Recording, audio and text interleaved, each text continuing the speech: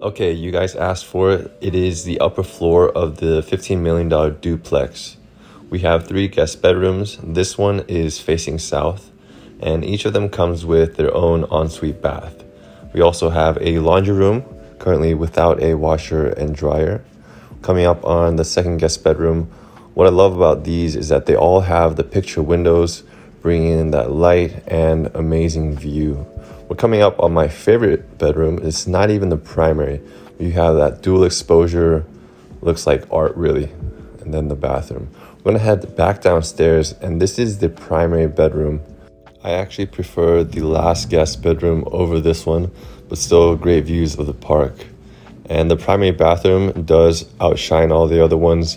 It's larger, has a bathtub and walk-in shower. It even has a window with a view. What do you guys think? Let me know in the comments.